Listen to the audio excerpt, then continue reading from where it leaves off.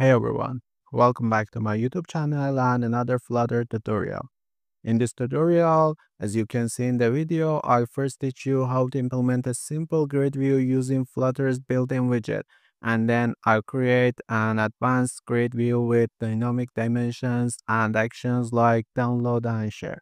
Grid view is one of the most widely used widgets in mobile app development. It displays data in a table or grid layout. Whether you are a beginner looking to build a simple grid view or an intermediate developer uh, ready to level up with the advanced customization, this video has covered you. Let's get started. As you can see in the video, I started with an empty project and added a a bottom navigation bar with two items, one uh, for the simple grid view and another for the advanced grid view. Let's begin by implementing a simple grid view using Flutter's built-in grid view widget. In the body of the page, I call gridview.builder and inside it, first I'll add an 8 pixel padding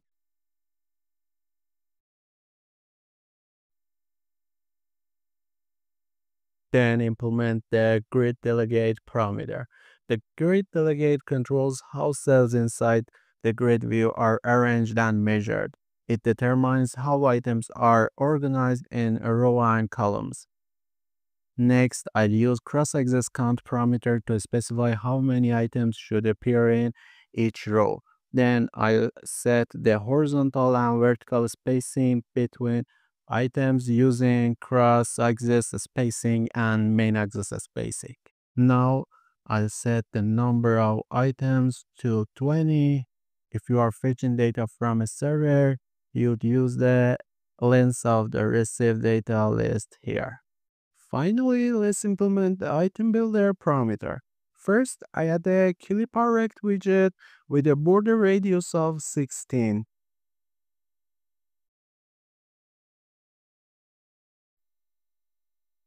And inside it I call image.network widget and use the Picsum website to display placeholder images. Picsum.photos website is a free online service that provides random placeholder images uh, with customizable sizes for design and development projects.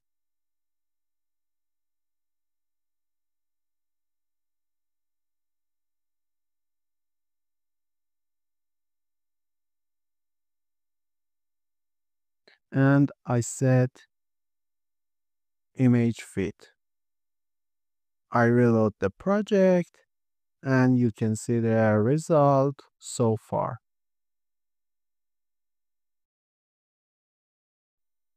Let's change the cross-axis count parameter and reload the project so you can uh, see exactly how this parameter works.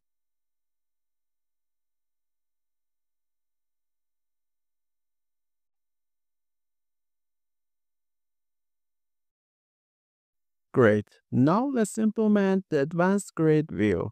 I go to the relevant class and first add a method. Let me explain uh, what it does. Uh, this is an async function that calculates and returns the width and height of an image from its URL. First, it takes an image URL as input then it creates a completer uh, to return the result later and then the image is loaded from the internet using a network image widget. And finally using image stream listener once the image is loaded its dimensions are extracted. On success uh, it returns the actual image dimensions and on error uh, it defaults to one by one you can customize this default as needed. Now let's implement the page body. First, I add a single child scroll view widget. Then I open the pubspec.yaml uh, file and add the Flutter staggered grid view package. I run the flutter pubget command and wait uh, for it to complete. Now I back to the previous page and I call the uh, staggered grid dot count uh, class and start implementing it. I set a cross axis uh, count parameter to number two. Then uh, I use a list that generate uh, to create a list of images with 30 items.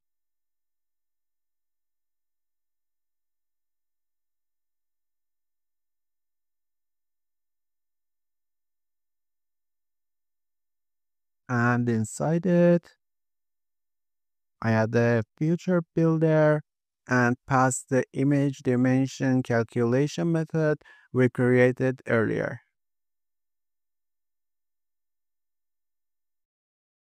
And now I feed it uh, image URLs from Picsum as you can see here. Now let's implement the uh, builder parameter. First, I add a, a condition to check the uh, to check if the snapshot has data.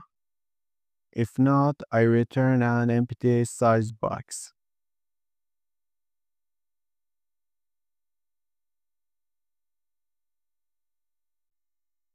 Next, I create a variable to store the returned image dimensions. Final uh, widget size is equal to snapshot uh, data as a size. Then I add the size box and set its uh, width and height uh, to match uh, the calculated image dimensions. And inside it, I add a, a padding widget for spacing, followed by the necessary code uh, to display the image.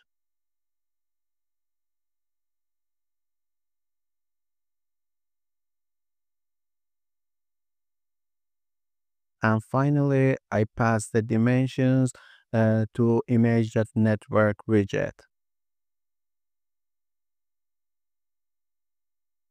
And I reload the project and you can see the output so far.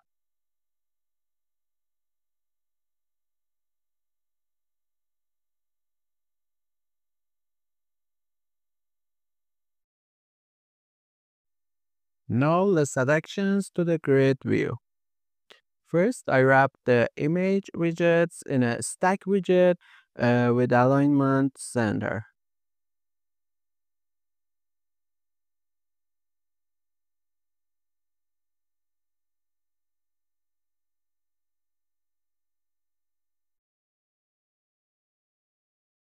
Then I add padding again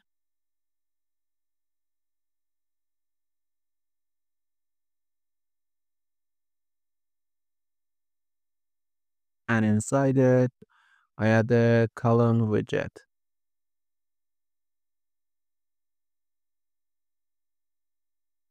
And inside the column I add a field button and then I set the main axis alignment parameter uh, to the main axis alignment dot space between.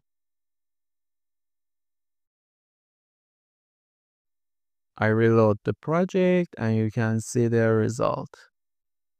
And I also set a cross-axis alignment parameter to cross-axis alignment dot end.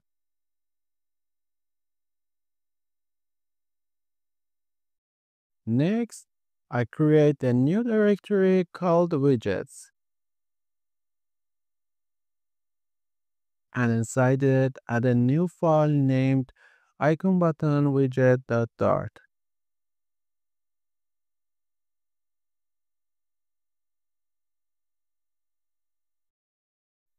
Inside this file, I create a custom icon button widget as shown in the video.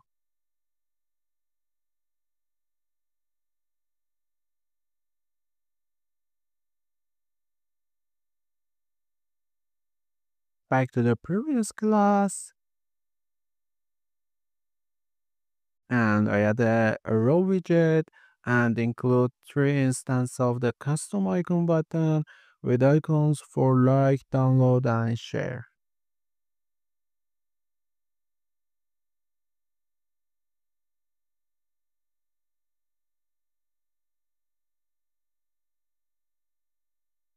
I reload the project and you can see the result.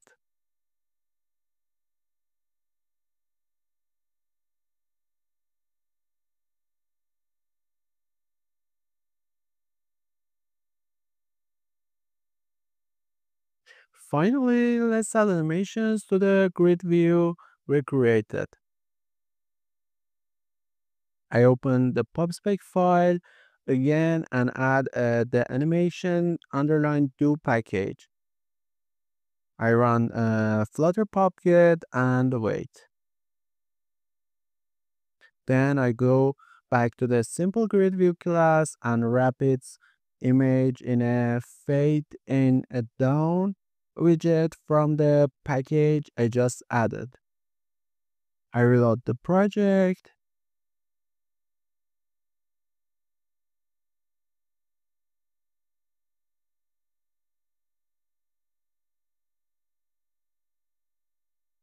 And now I repeat uh, this for the advanced grid view class.